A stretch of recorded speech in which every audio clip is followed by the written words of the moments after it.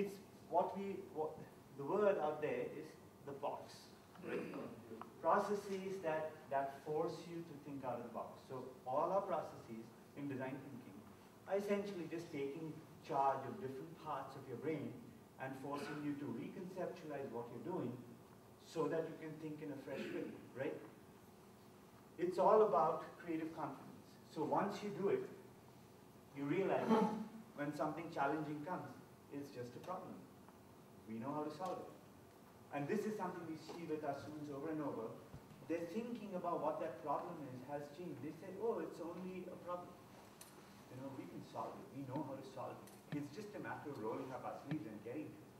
But this whole thing that, oh my God, Africa has huge issues that we never solve. You need creative confidence in order to attempt to solve them. And without that, you're never going to embark on it, right? So this other thing of not waiting till problems are nicely, clean, cleanly presented to you, and it's not a game of problem solving. It's a problem, first framing problems out of very ill-defined challenges. So remember that term, cutting cubes out of four. That's what you're doing. And then figuring out how to solve it, the ability to act and solve it. So it's both sides of the equation. A lot of talk on what it means to understand failure. Failure has many dimensions, two or three of them which are really, really the one kind you want to avoid. All the rest of the hundred are super useful to learn from.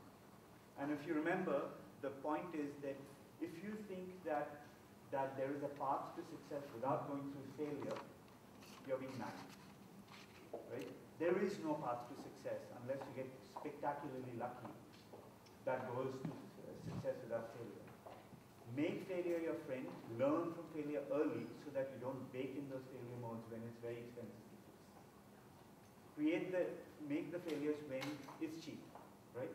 Otherwise, you'll have sunk so much cost that it will be, you'll be fixing it with band-aids, right? So risk-taking means that if you have a very risk-averse attitude, yeah, sure, you will systematically avoid a certain kind of risks, and all these risks below this line have been avoided, so you've got the bar up here. But if you're that risk averse, you're also bringing your ceiling down and all your ideas are bouncing between the ceilings. And there are ideas out here that could be disproportionately effective that you won't take because you're risk averse at every stage. You want to have be risk averse when you're evaluating the risk and trying to mitigate the risk. You want to be very, very, very radical in your thinking and figuring out what to do. Okay? Human-centered design you can do design in the abstract without bringing it down into the, hu the human dynamics and understanding of the moments. So when you're dealing, designing for your community, think about who in the community. Imagine that Maasai person walking into a bank and who's never walked into the bank.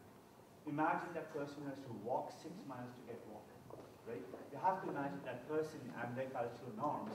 And so, and that's where it all starts. You start with human needs, and then you figure out what is the business viability, then you figure out what technology you might have, and what's the most useful technology, okay?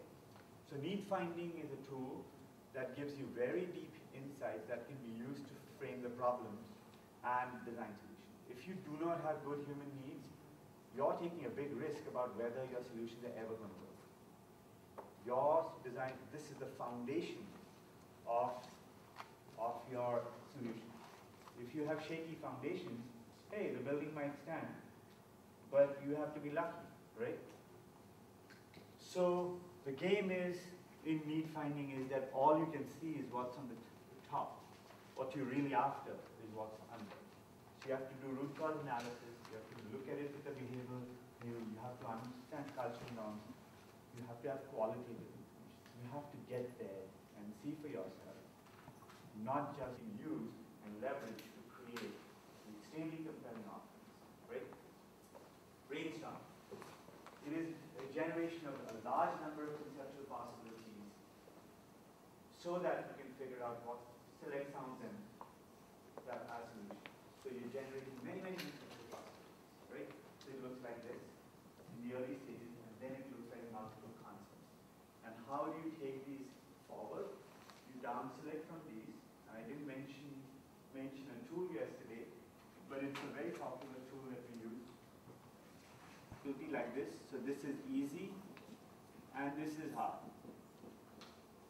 Right? And this is intact. This is highly transmitted and this is very low impact. So your concepts you want to put up saying that, okay, this is a concept that is super, super transformative but really hard to do.